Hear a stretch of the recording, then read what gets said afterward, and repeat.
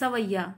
तब तो छवि पीवत जीवत है, अब सोचत लोचन जात जरे। हित हिततोष के तोष सुप्राण पले, बिललात महा दुख दोष भरे।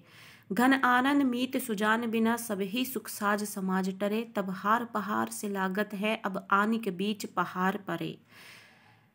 जैसा कि पिछले भाग में घनानंद जी द्वारा रचित कवित हम पढ़ चुके हैं, और इस कवित के माध्यम से हमें पता चला है कि जो घनानंद जी का विषय है वो स्वयं को साथ लेकर चलते हैं और अपनी प्रेसी को विषय बनाते हुए अपने विरह को वो प्रस्तुत करते हैं। और इसी तरीके से हम सवैये में भी ये विषय देखेंगे और आगे बढ़ते हैं और सवैये का अर्थ समझते हुए इस विषय को भी समझने का प्रयास करते हैं जो घनानंद जी ने यहाँ पर प्रस्तुत किया है। तब तो छवि पीवत जीवत है, तब तो यानी उस वक्त जब कवि जो हैं, वो अपनी प्रेयसी सुजान से मिला करते थे। तो उसके लिए तब तो उस वक्त पर छवि, यानी छवि इमेज जिसे कहा जाता है, पीवत, यानी पीना, जीवत मतलब जीना, है मतलब थे। कवि कह रहे हैं कि तब तो मैं तुम्हारी छवि को देखने मात्र से ही जीता था। यानी जब वो अपनी प्रेयसी सुजान से मिला करते थे तो वो उनकी छवि को देखकर ही अपने जीवन को बेहतरीन समझ लेते थे और उनकी छवि को देखकर ही उनका जीवन जो है चलता रहता था। तो तब तो छवि पीवत पीवत यानी प्राप्त करके, यानी उनकी छवि को महसूस करके, ग्रहण करके। पीवत का मतलब पीना होता है, लेकिन यहाँ पर ग्रहण करने से इसका अर्थ लिया जाएगा। तो तब तो उस वक्त उनकी छवि को देखकर ही मैं जीवित रहता था। अब सोचत लोचन जात जरे।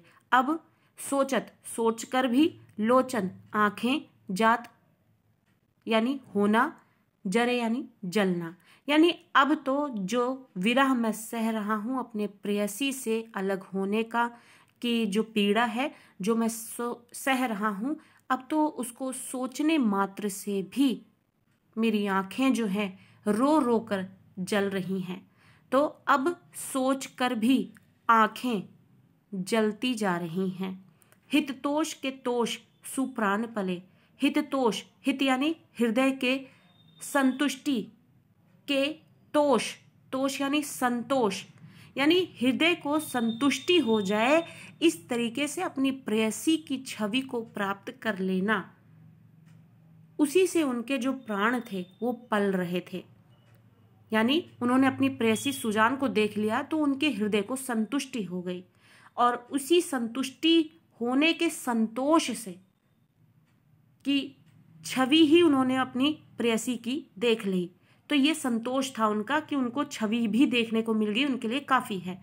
तो हित तोष यानी हृदय की संतुष्टि के तोष सु के तोष यानी संतोष, सु मतलब से, प्राण यानी प्राण, पले मतलब पले, यानी हृदय की संतुष्टि से, के संतोष से ही तब तो प्राण पलते थे। बिललात महादुख दोष भरे।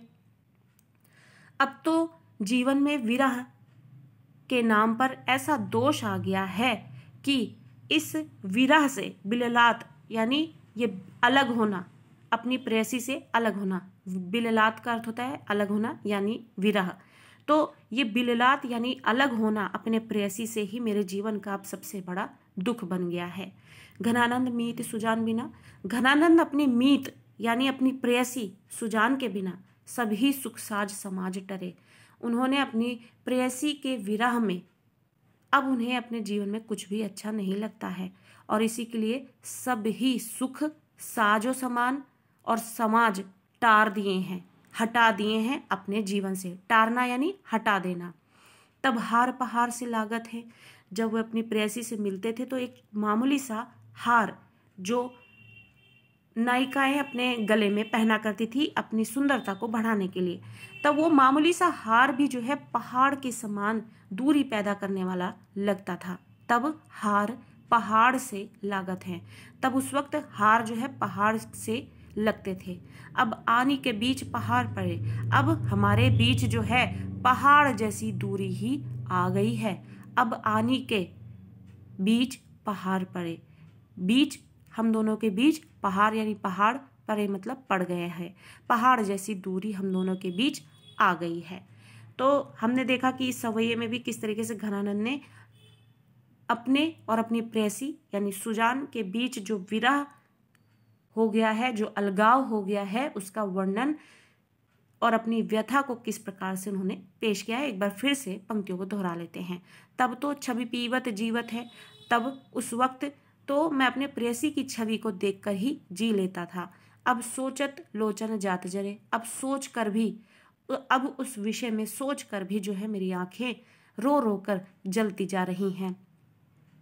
हिततोष के तोष सुप्राण पड़े, हृदय के संतोष, हृदय की संतुष्टि से, संतोष हो जाने से मेरे प्राण पला करते थे।